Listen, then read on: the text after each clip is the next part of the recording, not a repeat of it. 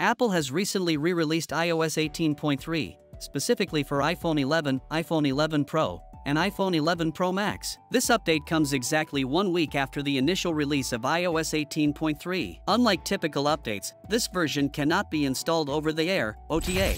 Instead, users must connect their devices to a Mac or Windows computer and update through Finder or iTunes. If someone tries to update via OTA, they will only receive the older build released last Monday, not the new one. The new build number for this update is 22D64, while the old one remains 22D63 for other devices. Apple hasn't provided specific reasons for this re-release, but it is believed to address issues like boot loops and problems encountered with devices at Apple stores. Although the exact fixes aren't disclosed, the update includes general improvements and bug fixes for iPhones. Additionally, the update brings some changes related to Apple Intelligence features. These features are automatically enabled, and organizations using mobile device management (MDM) can control access, requiring specific workspace IDs for integrations like ChatGPT. MDM can also disable features like transcription and summarization in the Notes app. There's an improvement in single sign-on to reduce timeouts and login issues. Security has been a key focus in this update, covering areas like accessibility, AirPlay, Core Media, kernel, passkeys, and Safari. For example, a WebKit vulnerability that could cause crashes due to malicious web content has been fixed through improved state management. CVE numbers are provided for these vulnerabilities, ensuring transparency about the security patches.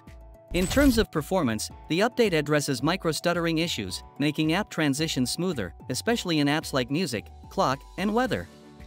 There's also an improvement in ProMotion responsiveness, enhancing the overall user experience. However, some users still report minor issues, such as a slight desaturation effect when swiping from the wallpaper. Battery life has shown positive results. On an iPhone 16 Pro Max with 100% battery health after 120 cycles, and an iPhone 11 with 96% battery health, the performance has been excellent. For example, one device achieved over 2 hours of screen on time with only 25% battery usage, leaving 80% battery remaining. A YouTube community poll showed that 84% of users experienced better or the same battery life compared to iOS 18.2.1. Benchmark tests on the iPhone 11 revealed a single-core score of 1,676 and a multi-core score of 4,472. Although these scores are slightly lower than the previous version due to ongoing optimization, they still reflect strong performance.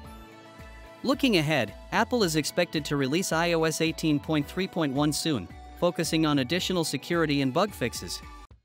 It's important to note that Apple has stopped signing iOS 18.2.1, which means downgrading to this version is no longer possible. The iOS 18.4 Beta 1 is expected to be released soon, with the public version likely arriving around March or April. This upcoming update is anticipated to bring additional features, performance improvements, and bug fixes to enhance the overall user experience. If you're using an iPhone 11, 11 Pro, or 11 Pro Max, share your experiences, whether it's about performance improvements, battery life, or any bugs you've encountered. If you found this video helpful, don't forget to give it a thumbs up and subscribe for more updates. We'll be back soon with more exciting news about the next iOS releases.